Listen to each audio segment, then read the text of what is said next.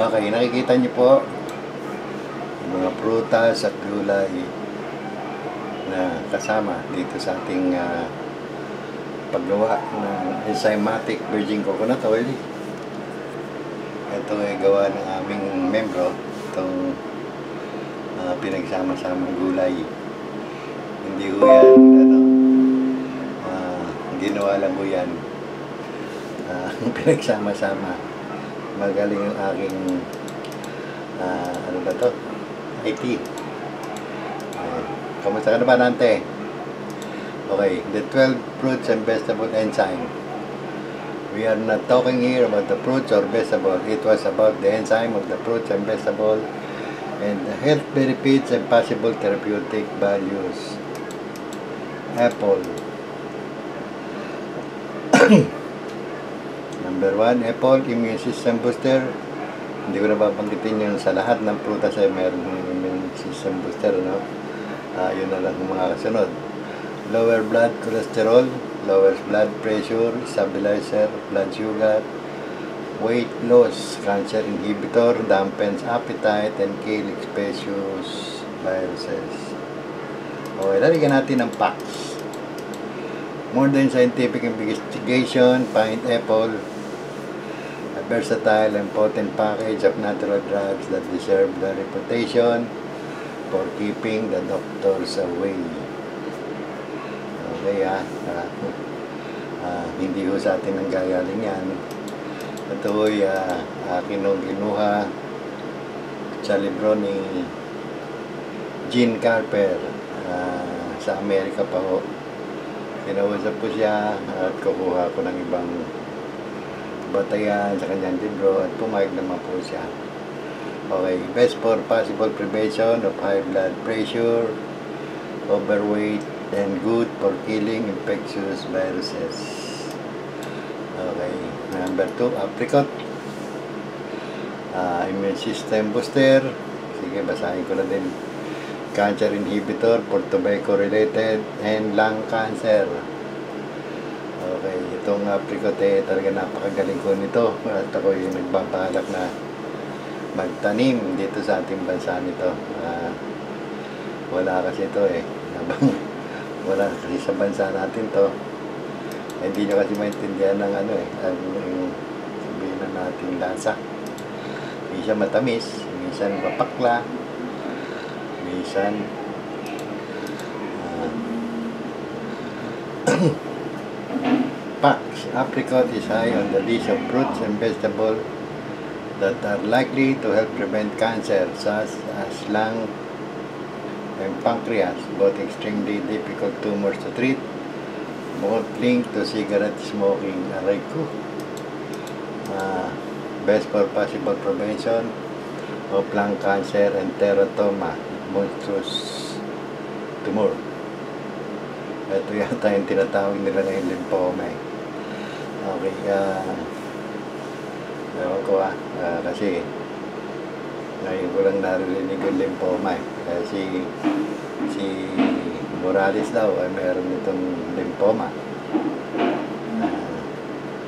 Kung magtitiwala kayo sa akin, kaya-kaya ko kayong gamutin. Okay. Ah, number 3, bitter melon, palaya.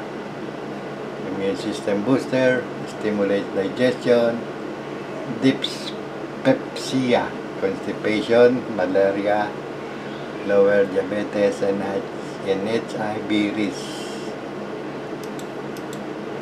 Itong HIV eh, hindi ko pa nasusubukan eh kasi wala pa naman nagpapakilala sa akin may HIV eh.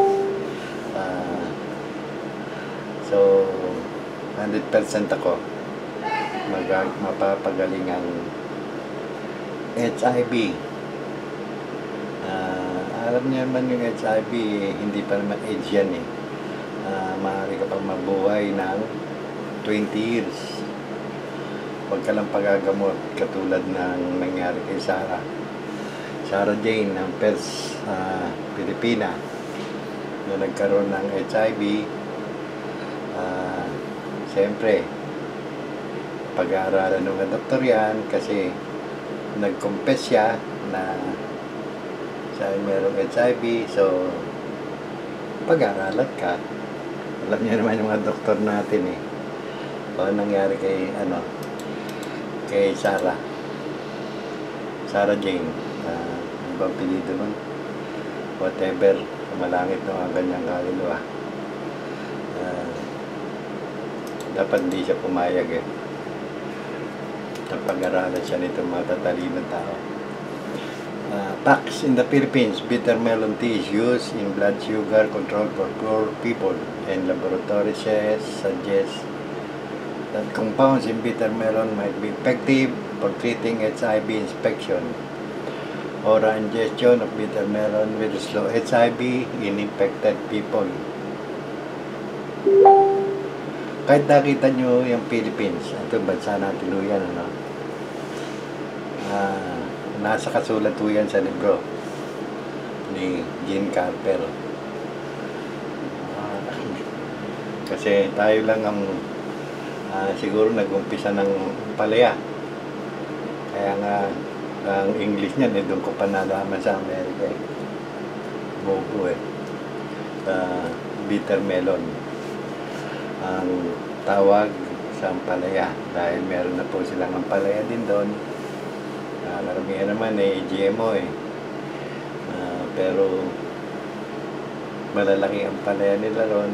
Uh, wala naman yatang ang uh, hinahanap ko sa palay mapait eh. Kaya nga bumibili ko ng maliit. Yung uh, sabihin na natin ginagamit sa dingding na paborito ni sabi ni paborito raw ni uh, Silver, Juan Ponso Enrile. So, hindi lang mo siya ang may paborito ng dinding, kundi lahat ng Ilocano. At yung mga nakatikim na rin yun, dinding. Ako ay may dugo rin tayong Ilocano eh. Uh, okay, best for possible prevention of diabetes. HIV and dengue virus. Uh, alam niyo po ba itong dengue virus na to?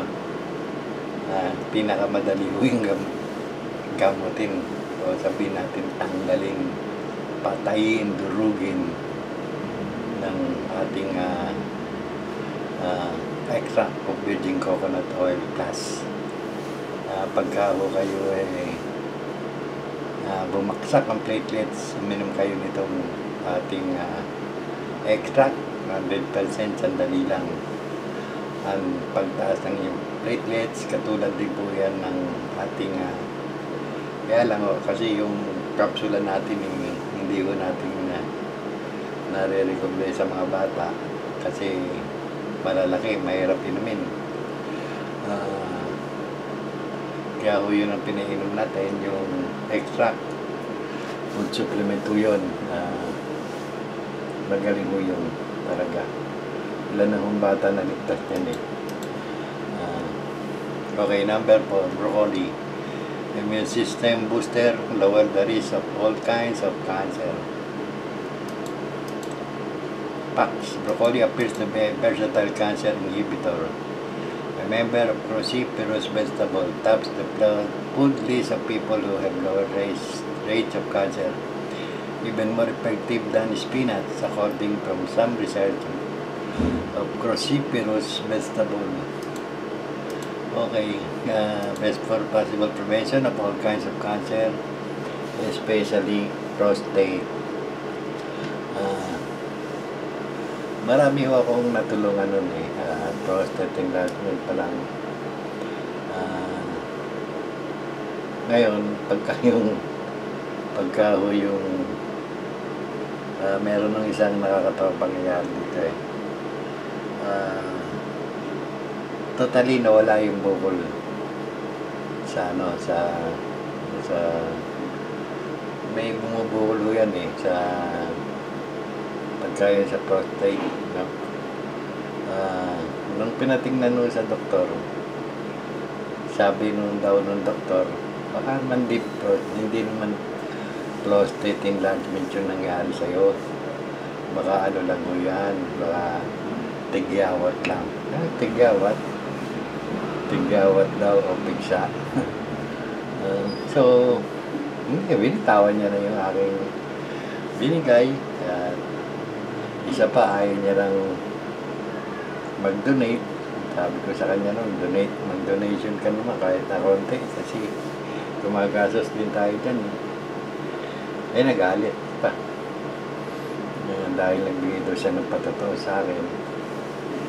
So, mahabang istorya. At hindi na kami nagkita simula no. Ah, hindi siya pala nagkita pa kami.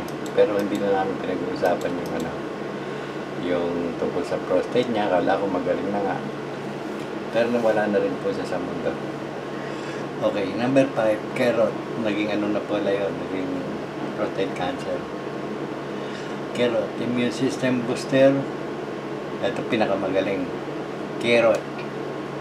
O carrots. Ah, alam niyo ho eh, ako hindi nawawalan yan eh. Uh, nakalagay sa suka. Ah, kinakain ko yan lagi. Araw, araw, araw kumain ako ng carrot lang problema sa akin. Ah, magaling to eh. Immune system booster, private for blocking cancer, especially smoking related cancer, including lung, lower blood cholesterol, prevent constipation. Okay. Pax, carrots according to American folk medicine are therapeutic against general nervousness, asthma, dropsy, especially skin cancer, uh, skin disorder. Best for prevention of constipation and lung cancer. Okay, dito tayo na sa durian. Ah, uh, muna tayo sandali.